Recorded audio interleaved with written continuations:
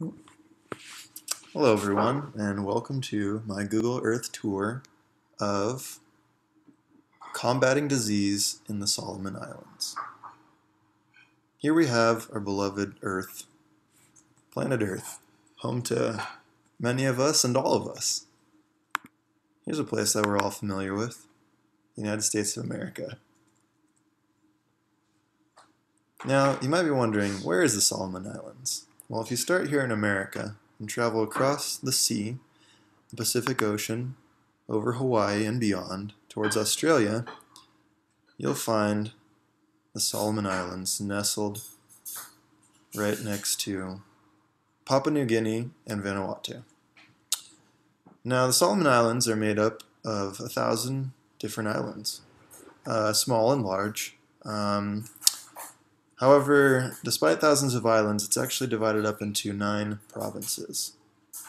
And so today we're going to talk about the main province where the capital city of Honiara resides and talk about the different administrative health buildings and places there. Let's start with the airport. If we go to the airport here in Honiara, this is where, if you were to fly in from out of country, you might land. And you'd be introduced to the country. Now, Honiara uh, is the biggest city in Solomon Islands. And as you can see, as you go towards the middle of the city, there's a lot of people there. It's urban.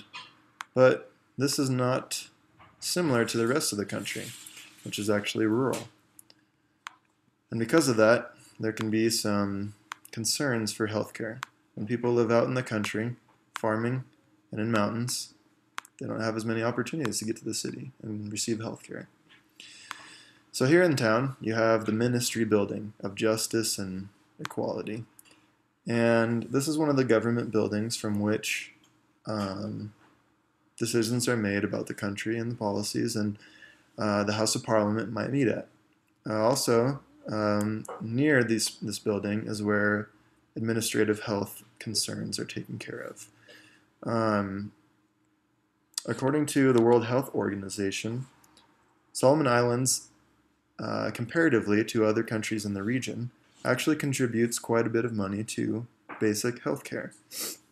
In other words, this means that um, for specifically uh, the country of Solomon Islands, uh, people can get subs subsidized transportation to healthcare, uh, which is one way that they have gone about addressing the concern of uh, the rural, uh, the people living rurally, which is most of the Solomon Islands, being able to get healthcare.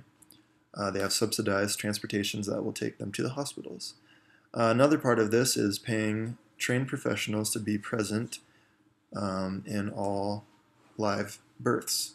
Now, this doesn't happen in all live births, but um, a good portion of the spending for that budget goes towards uh, hiring those professionals.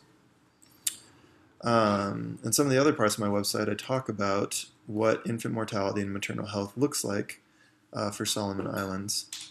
Um, and in this case, for combating disease and healthcare, it is administered from here in town.